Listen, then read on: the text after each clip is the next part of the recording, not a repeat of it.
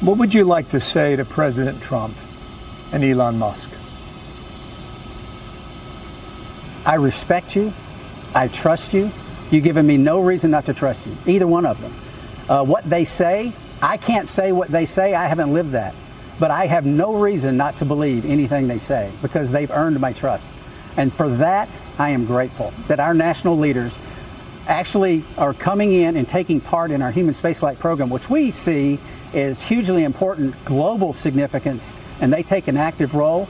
And um, based on the past and what we see now, uh, with them doing that is it's uh, it's refreshing, not just refreshing. It's it's empowering. It's it's uh, it's strengthening uh, for our nation. I think it's a good thing for our nation when the national leaders, especially something that has high visibility, are involved in the process. And I'm right. grateful for that.